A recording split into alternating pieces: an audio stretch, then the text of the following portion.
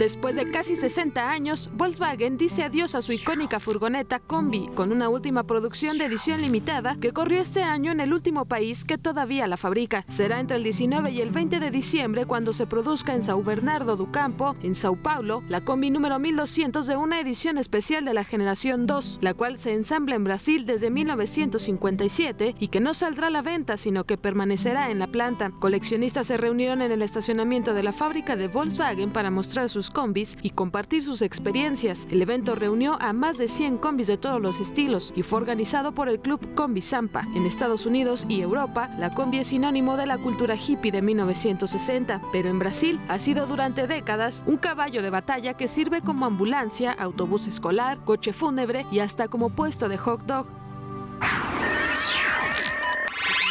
Es un coche que significa mucho para Brasil, así que me siento muy triste, pero por desgracia, eso es el progreso.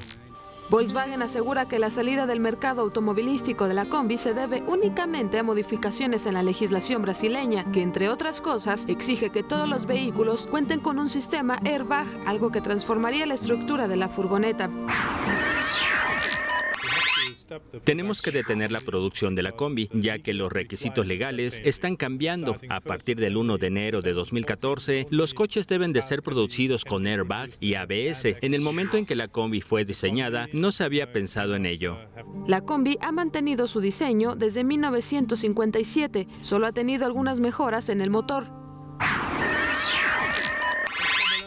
Hemos trabajado en la combi durante 28 años y cuando apretemos ese último tornillo en la última combi, será un momento que siempre se recordará.